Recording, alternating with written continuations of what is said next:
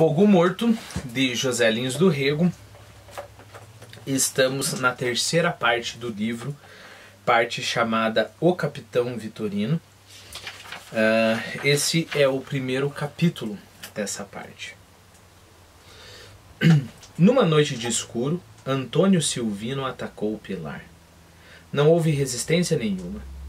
A guarda da cadeia correra aos primeiros tiros e os poucos soldados do destacamento ganharam o mato as primeiras notícias do assalto.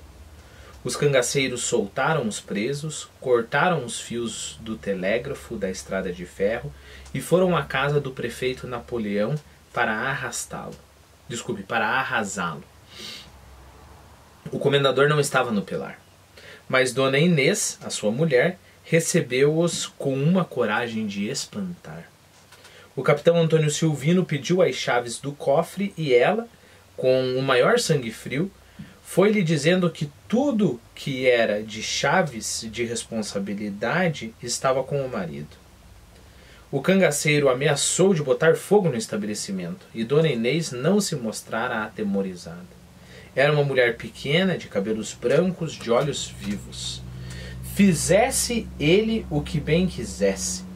E ficou na sala de visita, tranquila, muda, enquanto os homens mexiam nos quartos, furavam os colchões atrás do dinheiro do velho Napoleão. Havia dois caixões cheios de níqueis, de moedas de cruzados, de tostões. O cofre, num canto da casa, enraivecia o capitão Antônio Silvino. Ameaçou a mulher, mandava-lhe passar o couro. E ela, muito calma, só dizia que nada podia fazer. Era uma mulher fraca, não tinha jeito para se defender. O povo estava à porta da loja esperando os acontecimentos. As luzes do sobrado do prefeito enchiam a casa como em noite de festa. Depois o capitão Antônio Silvino baixou para a casa de comércio, abriu as portas largas e mandou que todos entrassem ia dar tudo o que era do comendador aos pobres. Foi uma festa. Peças de fazenda, carretéis de linha, chapéus, mantas de carne, sacos de farinha, latas de querosene, fogos do ar, candeeiros, tudo distribuído como por encanto. Mas para a tarde o capitão chegou à varanda do sobrado e gritou: Podem encher a barriga.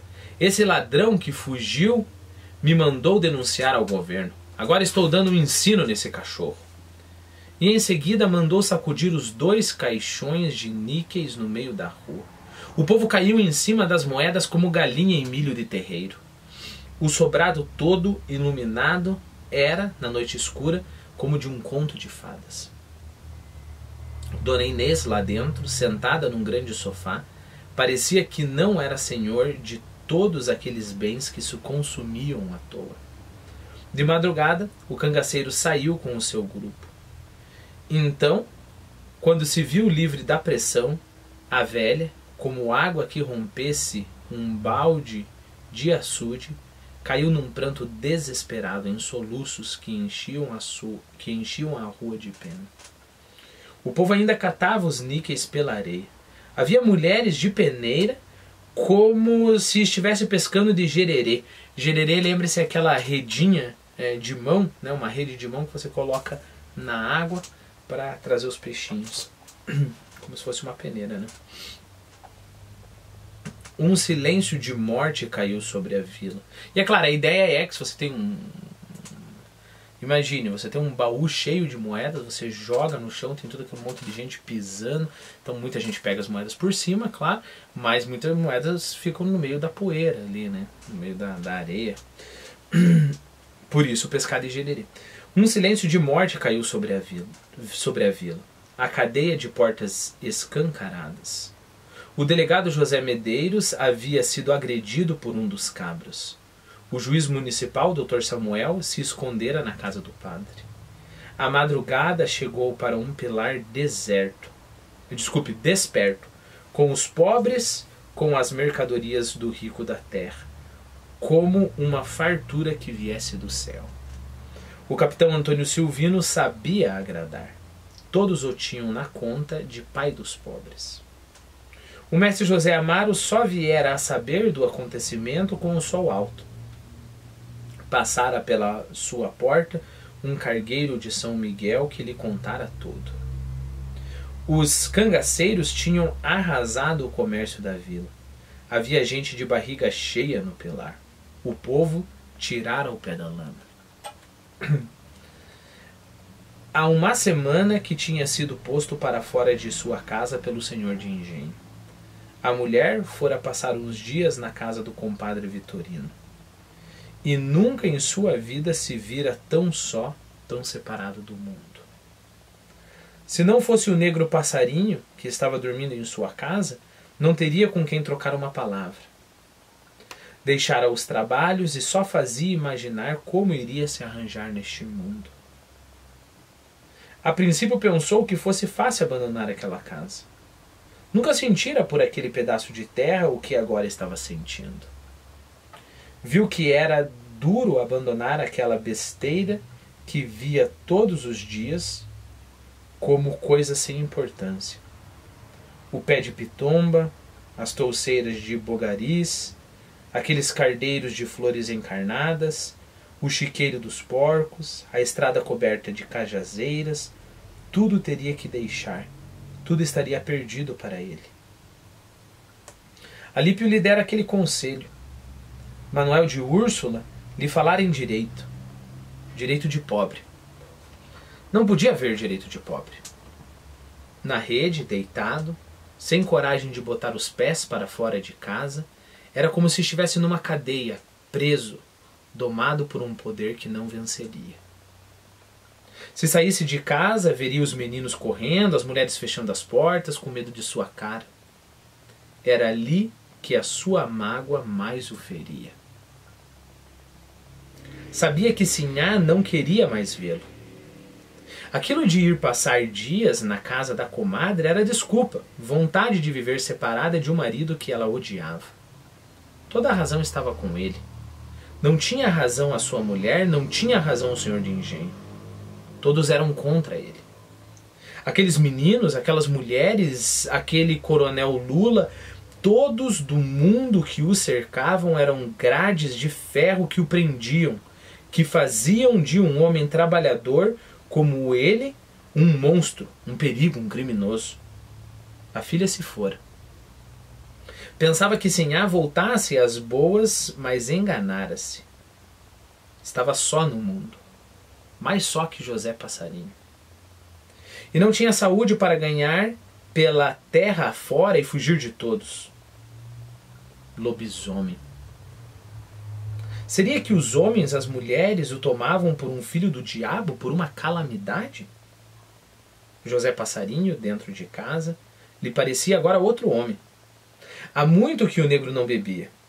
Era ali em sua casa, quem lhe cozinhava o feijão, quem lhe fazia as coisas. Era um bom negro. Via-o sujo, de pés cambados. Cambados quer dizer é, tortos, né? Pode ser tanto torto como pode ser bichento, né? Cheio de bicho de pé. Aqui os dois poderiam se encaixar, né?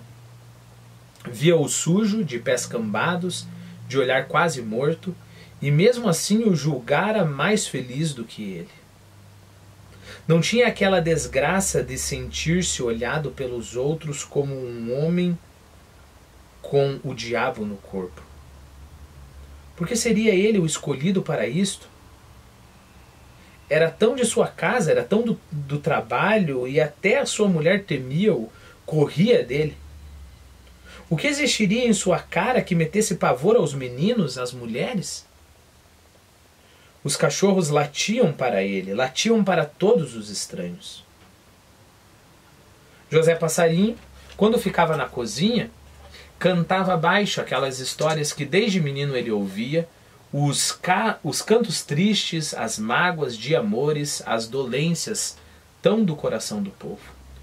O mestre José Amaro voltava à infância de Goiânia. Lembrava-se daquela cantiga que Passarinho repetia tantas vezes com a voz baixa, em tom de dor, de sofrimento. Senhora, botai a mesa, a mesa sempre está posta. Para vossa senhoria, sentaram-se ambos os dois, nenhum nem outro comia. que as lágrimas eram tantas que pela toalha corriam. Senhora, fazei-me a cama. A cama sempre está feita, para vossa senhoria. Deitaram ambos os dois, nenhum nem outro dormia, que as lágrimas eram tantas que pela cama escorriam. Mataram a mulher do conde para que a filha do rei da Hungria se casasse. Muito sangue se derramaria para que a filha do rei tivesse o marido que ela quisesse. A voz de passarinho levava o mestre para os dias de Goiânia, a vida boa da rua, da casa bem perto da matriz.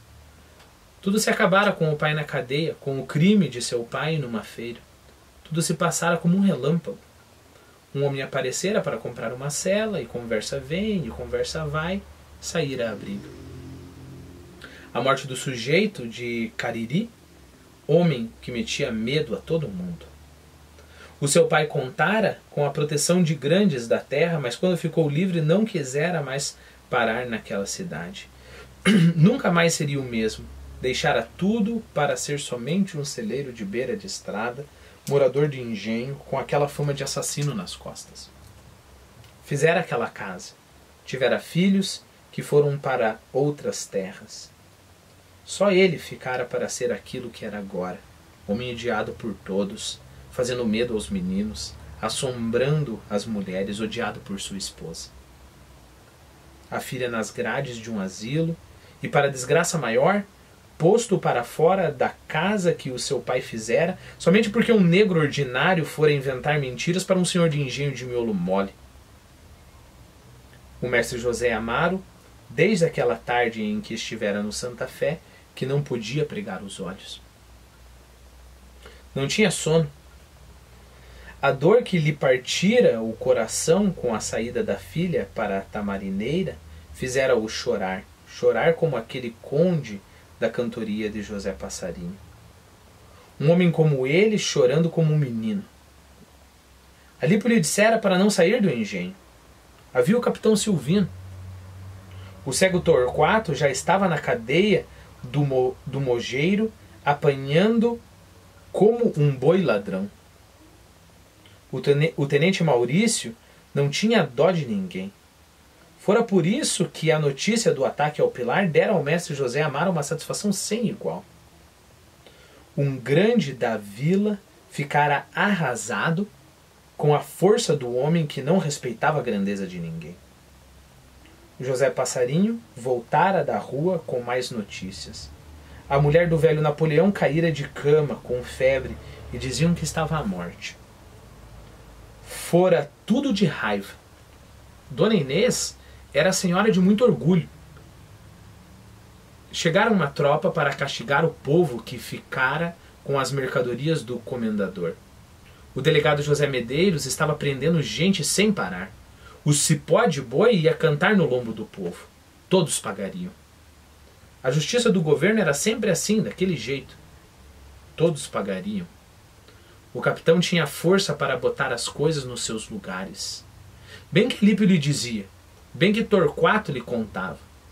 Todos eles tinham a certeza na força invencível do chefe. Aquele José Medeiros pagaria na certa. O capitão, quando voltasse, daria uma lição naquele miserável. Prender o povo por quê? Que fizeram os pobres? Passarinho lhe dissera que os cangaceiros respeitavam as famílias. O capitão aparecera na varanda do sobrado com o peito cheio de medalhas. Parecia um príncipe. O povo gostava do homem. Soltava os presos, dava de comer aos infelizes. E o tenente Maurício, por onde passava, era como um pé de vento, assombrando os homens como aquele oficial do 14 dos tempos do quebra-quilos aquele de quem a sua mãe lhe falava como de um enviado do demônio. Ela lhe contava dos coletes de couro, das surras que o 14 dera por onde passava. Era assim aquele governo, era assim com tudo que tocava aos pequenos. Aquele Lula de Holanda, sem que nem mais, nem mais, mandava que ele se fosse de, de uma casa que o seu pai levantara anos e anos perdidos. e Manuel de Úrsula vinha lhe falar em dinheiro. Pobre não tinha de, desculpe, vinha lhe falar em direito. Pobre não tinha direito. Quem sabia dar direito aos pobres era o capitão. Era jesuíno brilhante, era o cangaço que vingava, que arrasava um safado como Quinca Napoleão. Só lastimava que não lhe tivesse arrombado o cofre. Depois que passarinho saiu para a vazante, bateu gente na sua porta e quase que caiu para trás quando viu o cego Torquato com o guia. Mandou que eles entrassem e foi fechar a porta da frente.